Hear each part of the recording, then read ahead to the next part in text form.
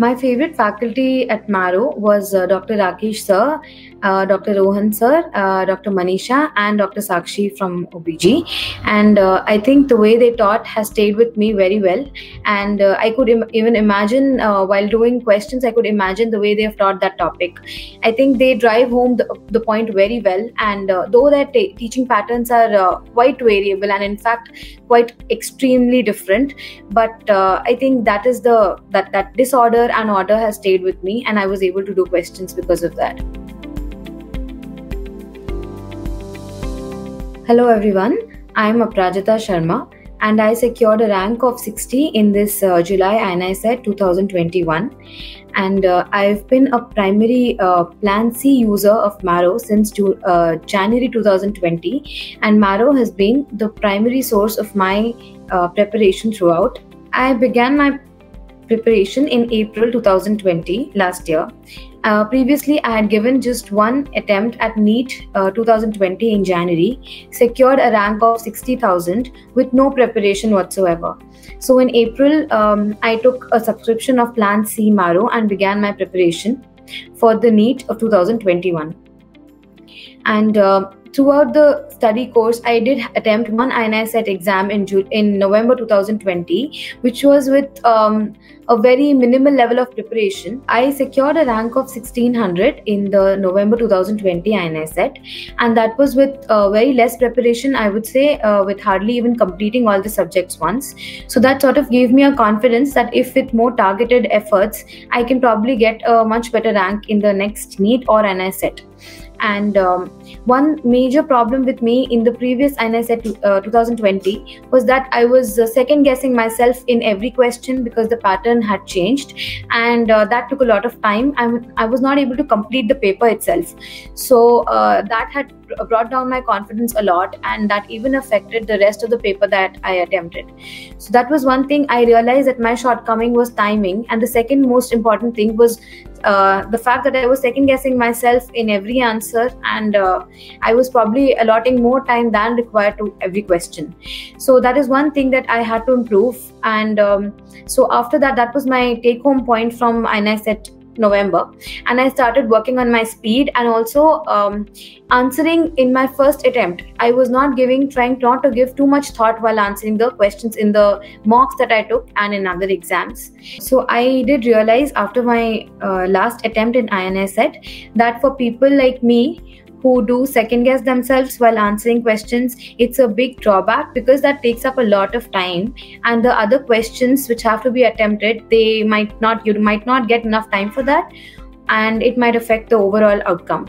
So uh, the best thing that i learned for myself from this experience was to attempt the question in the first go go with my gut feeling and after applying all the logic and all the information that i know and uh, but not keep going back to the same question and thinking of changing the answer because that uh, usually worsens the outcomes. So after attending the last INICET in November, I had a few. I realized that I had to plan my study pattern and how I'm going to divide my day and how much time I have to dedicate to solving questions as well as to reading my notes because I was not very thorough with my notes itself. Uh, so that is when I realized that reading notes and uh, giving your majority of the time of the day towards notes is going to make you build your concepts and uh, make you revise everything continuously keep you in touch with the subjects as well as giving a dedicated time to questions uh, every day was really important. So doing around 150 100 uh, to 150 questions in a day would be uh, more than enough at least in the beginning. So after november i started uh, reviewing some of the Marrow revision videos, and then I used to read my notes and for the same subject. Um, sometimes, uh, you know, continuously studying one subject used to become very boring and uh, very redundant. Uh, so, I would suggest, even to those who are preparing for NEET PG now, that instead of sticking to one subject at a time, maybe uh, two subjects continuing at the same time may be more beneficial for you so after the last uh, INICET, I had devised my uh, plan in such a way that it included two subjects at the same time and uh, i would suggest this to others who are preparing for NEET pg now as well that instead of sticking to one subject at a time maybe uh, two or three subjects of your liking if combined together in a day for a few hours every day will um, be more beneficial. So like i when i was studying surgery surgery is a huge subject and uh, while doing it i used to get really bored and sometimes um, I, my efficiency used to come down. So i combined uh, psychiatry and surgery though there is no relation between the subjects as such but i think that works to your advantage because they are completely different things and applying your brain to two different things in a day will improve the efficiency. So uh, that is one strategy. And then doing questions along with it. So few questions from the mod- a few modules from surgery when while uh, reading surgery and few from psychiatry. So i think the overall question modules um, the development uh, while you're reading the notes and putting it all together will do wonders if uh, done in a combination of two rather than sticking to one so overall um, my preparation when it began in april I thought i will have time to make notes for uh, all the 19 subjects, and that's how I began my preparation. So for majority and the uh, and the main uh, the bigger subjects, I made my own notes. But uh, by the time it was um, September, I realized that if I continue making my notes, I'm not probably not going to finish on time.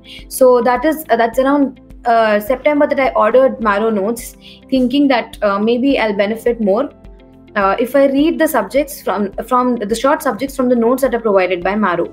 So initially, um, it took me a little bit of time to get adjusted and to overcome my mental barrier that if I have not made my uh, notes in my own handwriting, then it will be difficult for me to retain.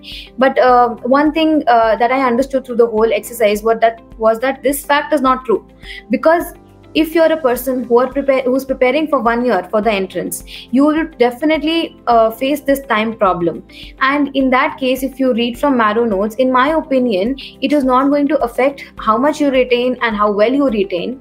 Uh, but of course this is very subjective and it uh, differs from a person from a person to person. But for a person who is currently in uh, second or third prof of MBBS and using Marrow. So I would definitely suggest uh, them to make their own notes and uh, put everything down on paper in one place and all the information that they collect over the next two or three years, even during internship. And uh, then maybe in the end, it'll become easy because everything will be in one place. But uh, like I said, for somebody who's who has a time crunch and who's preparing only for a few months for post graduation i think marrow notes is a wonderful um, opportunity if you do get to order them and use them. And do one more thing which is very important about the marrow notes is the workspace and the empty spaces the active spaces that are provided in the uh, marrow notes. And uh, i think while using it and while watching the video simultaneously it keeps you in check and um, it keeps the person maybe in sync with where the video is going and where our mind is wandering even if we are not studying actively it forces us to write down stuff and whatever we are learning at that point. So i think it keeps a it keeps you in sync with what is going on. And that is one great one the greatest feature of marrow notes that i'd suggest. And uh, also the fact that they're very crisp and to the point. When i started making my notes uh, and watching the video simultaneously on Marrow. That was the point where I was advised by my seniors also to begin attempting the question bank then itself and try to complete it within the stipulated time. And that is uh, till the time I'll be finishing my videos and the first reading of my notes. So that was my plan, and I went about it in the same way. So initially, my uh, target used to finish at least somewhere around eight modules per day and if possible more than that. But um, usually it used to be in the range of seven to eight modules a day. And um, one major boost that i got to this um, the solving the question bank was the marathon which was conducted last year.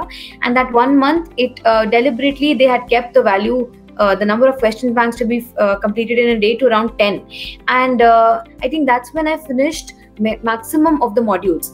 But here there is a problem that um, the idea of solving the question bank is not to finish the module but the idea is to gain as much uh, information and as much knowledge that will complement the ones that we have already written in our notes so i think just for the fin- sake of finishing modules if um, we do that then i think we are suffering we're the ones who are suffering somewhere so it's best advised that uh, do the question modules in a way that you are able to finish a decent number maybe eight in a day but it should be quality and um, the amount that you've spent on the question bank that day, that time, it should be justified for.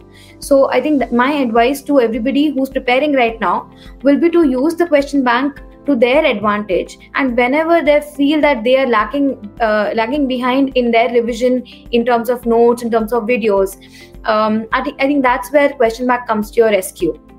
Even while sitting waiting in an area you might not be able to watch a video but you can definitely solve a question bank and read review the questions which you get wrong the major factor about uh, question bank is that it's a very flexible thing. And um, while doing anything in the world while waiting for something and uh, one can actually attempt the question bank and benefit from it any in any place. So that is one thing I think uh, that should be utilized to their advantage, whoever is preparing right now, because the time will be short and the number of question bank, the modules that you can finish will be uh, more beneficial.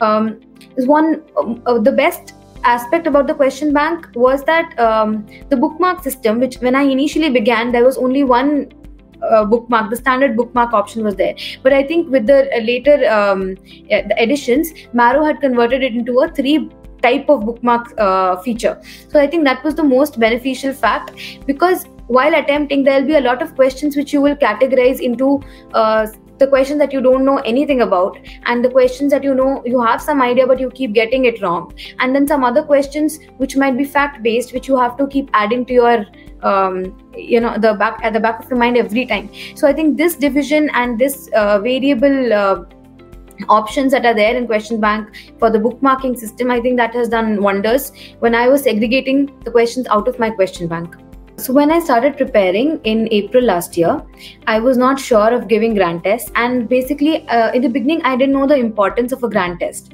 So um, i think it was only in june when i started giving the grand test very diligently after listening to my friends and seniors who advised me to do that. In the beginning it used to be maybe once a month. And uh, i used to get very apprehensive and anxious about what rank i get. And um, I think for, to me initially it was more about how much what is the rank and how much I uh, how well am I performing in the GTs. But gradually as I started giving the GTs and uh, my frequency I increased it to around uh, two times in a month that is every fortnightly, and I realized that more than which rank you land up uh, on or how well you perform more than that i think one must look at the trend and uh, whether uh, the performance is gradually improving or the performance is uh, you know at a plateau level or whether it's going down. Because that tells you no gt and given on any platform will be able to predict the rank that you finally secure in the main exam that you give. So the main the idea about gts is to look at the trend. And that is one mistake that i made when i was preparing because uh, a bad rank would used to get my confidence down a lot and that used to affect how i study for the next one or two days. And uh, i think that is one thing that needs to be that i wanted to improve about myself. So that's the advice i would want to give to someone who's preparing that um, do not take the rank at face value. That is not the rank that you uh, secure in any exam. Until you give the exam you will never know what your true potential is. So I would advise uh, to give frequent uh, GTs and to review. The reviewing part of the GT is more important than the um, than the giving the attempting part of the questions. So reviewing is most important. Someone who doesn't have time to review all the GT questions, uh, sometimes 200 questions can be too time consuming. So for them, I would suggest that um, uh, reviewing the questions in the order uh, in this order maybe the ones that you did not uh, attempt and the ones that you got wrong and the ones which you did attempt correctly but had a doubt while attempting. I think these questions definitely need to be reviewed even if you're not reviewing all the 200 questions. And um, i had this it was a very um, a difficult part for me to leave out questions while reviewing the GT, and that used to take up a lot of my time. But then i think in the end it is all what is adding to your knowledge and uh, an overall development uh, in the knowledge uh, that complements your notes the question bank and every other thing that you attempt towards the same goal. So i think uh, planning out when and how many GTs to be given in a month is also a very important aspect because giving too many GTs will spoil and will probably make you compromise on the uh, quality of the reviewing that you do for the questions. And um, like i said reviewing is more important than attempting. Uh, yeah. So uh, that is one factor that has to be considered while planning out the gts and uh, along with this i would uh, suggest that if uh, a person feels comfortable while preparing, they should definitely attempt subject wise tests that are previously uploaded on Marrow, even if they're not live. Because um, this is something that I realized when I was halfway through my preparation that uh, maybe reading the notes again and again does become redundant after a point of time. So if um, I used to give a subject wise GT, like I used to give a surgery, uh, sorry, a subject wise test, like a surgery short test, which was attempted, uh, which was uploaded previously on Marrow. It was not a live test. But after giving that uh, that uh, small test, maybe 50 questions, um, that will just give me an idea about how I need to structure my uh, note reading also so this is one thing that can be tried for people who definitely feel that they learn more from questions by attempting questions and by reading answers more than they uh, would benefit from notes. But after all it has to be a combination of judiciously giving gts reviewing them on time adding to your notes and also reading the notes side by side so the first time I attempted an INICET in uh, last November. By then I had attempted um, most of the previous questions that were given in Marrow, and uh, at that point of time I hadn't even thought of extending. Um, reviewing the questions asked in JIPMER and PGI, so I did not attempt anything outside Marrow. Um, but after I gave the INICET November, I realized that there were major uh, areas which I need to work upon, and that included reading and structuring my day in such a way that I'm able to judiciously allot time to uh, maybe two subjects in a day, and then also keep some time for uh, attempting the question bank or maybe subject wise tests. So after November, I started uh, dividing my day into two. And uh, the major part maybe six hours i used to allot to uh, one major subject like surgery. And uh, three hours of revision um, and this included my notes specifically. And um, the next three hours to another short subject like i previously mentioned i was doing psychiatry. And that depends it depends on the liking and depends on how one wants to um, uh, you know sort of uh, com- combine two subjects which are complementary to each other. So this is when i realized that um, doing surgery and psychiatry was proving beneficial to me better than uh, attempting one subject in a day. And uh, but one thing that has to be kept separate segregated from every other uh, modes of uh, study has to be the question bank. Every day last two to three hours maybe in the end or whenever one finds it convenient that time should be dedicated to question bank or subject wise test. That is one thing that i followed after uh, attempting my november INICET and um, that is what i continued till april.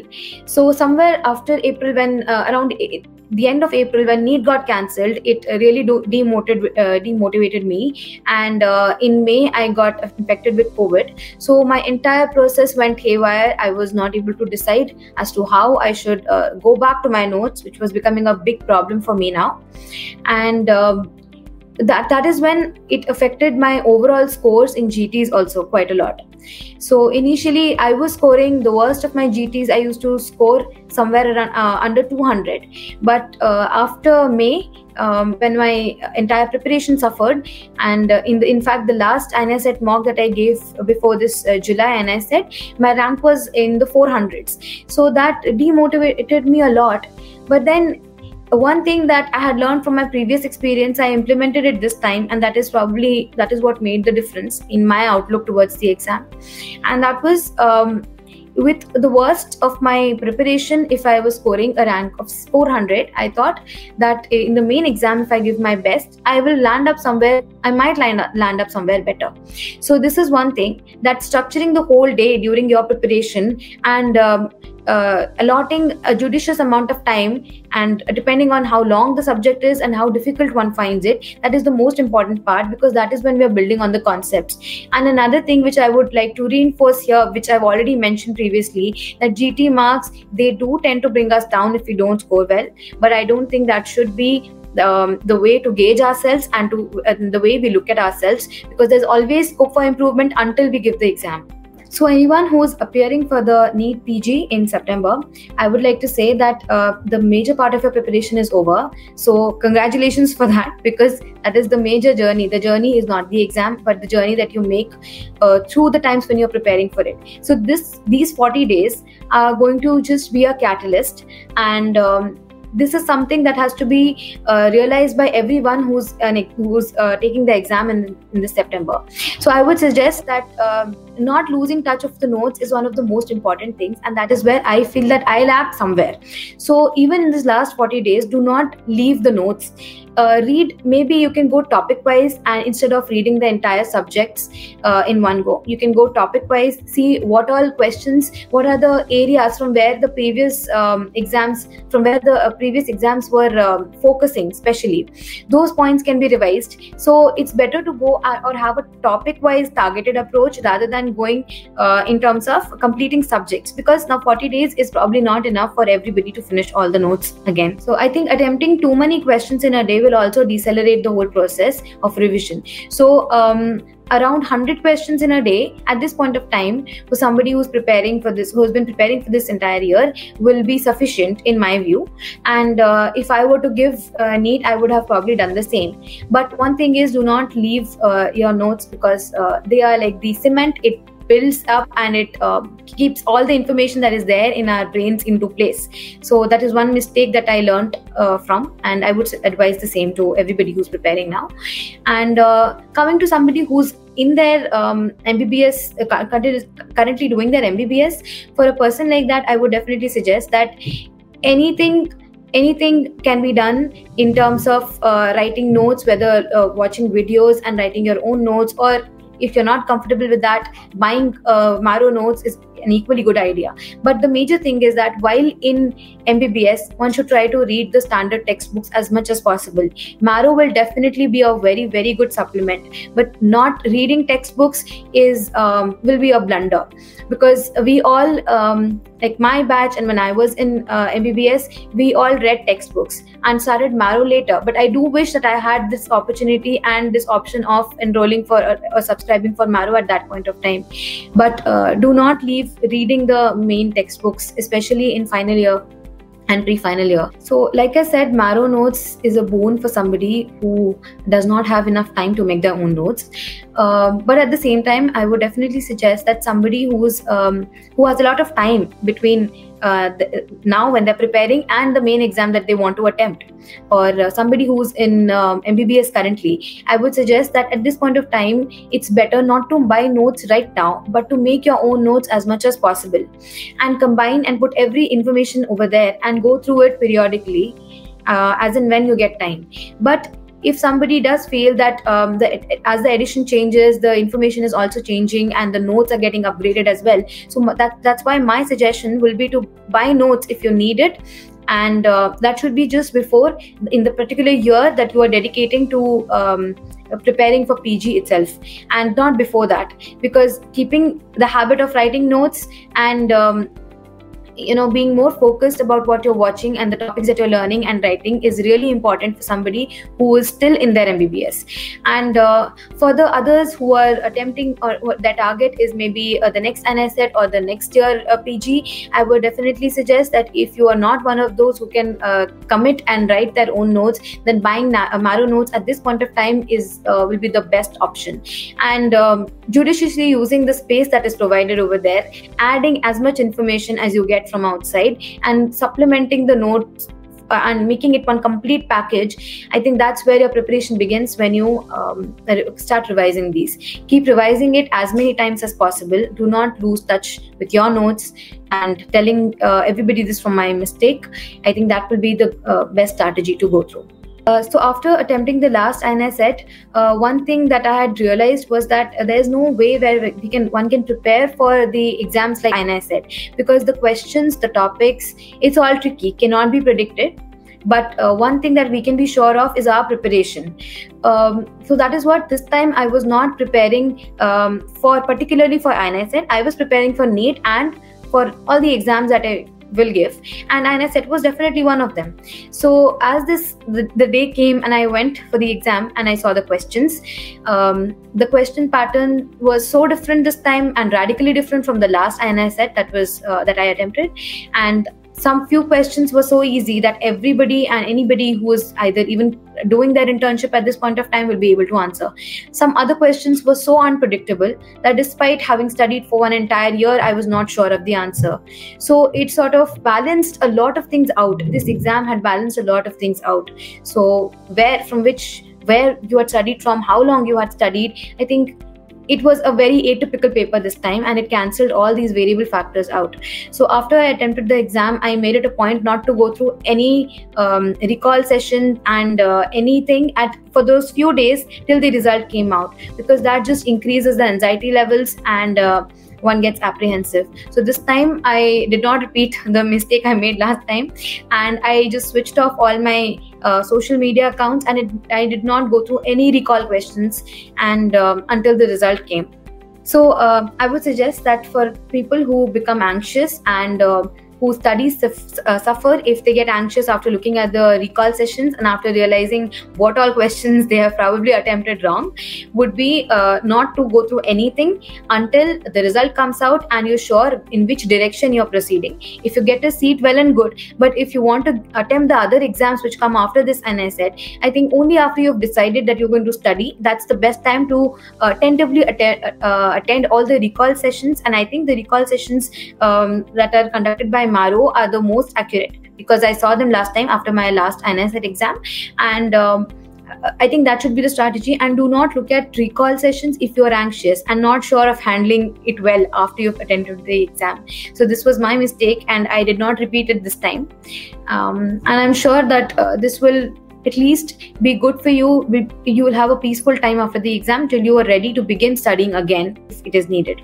So when I began my preparation last year, I was uh, not using any of my social media accounts, and I was not even aware of the Marrolinks group that existed on uh, Facebook. So after uh, maybe few days a few months into the preparation i realized uh, especially after my uh, last INICET november i got back on facebook and i realized that there's a group for plan c users uh, called Marrolinks on facebook and i joined it. So um, i will uh, definitely say that it is something that i used only towards the end of my preparation. Before the exam when a lot of updates were given and every faculty has taken immense efforts into putting the latest updates in the most readable and uh, concise manner in the form form of uh, flashcards. And um, that is a wonderful thing i feel on Marrolinks and uh, but i'm i'm sort of uh, sad that i didn't use it earlier. But then maybe that one thing about um, social media has its own um, pros and cons. So but i'm glad that towards the end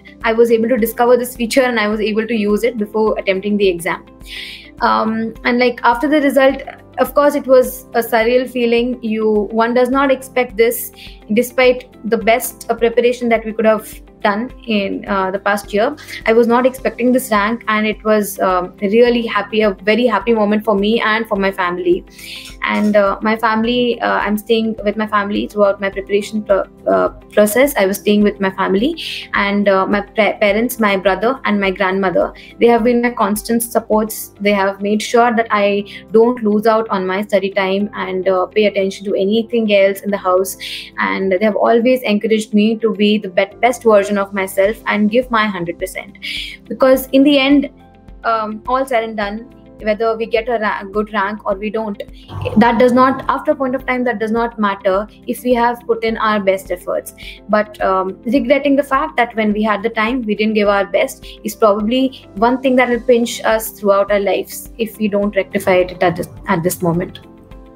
So um, to everybody who's watching this video um, I was just an above average student, not somebody who had ever imagined of securing a double digit rank in the INICET or for that matter in any exams. But it is doable. But it is doable only with perseverance, diligence, and full hearted efforts. And um, I wish you all the best. Uh, the best of your luck and the best of your ability. May you put it into action and may you achieve everything that you aspire for.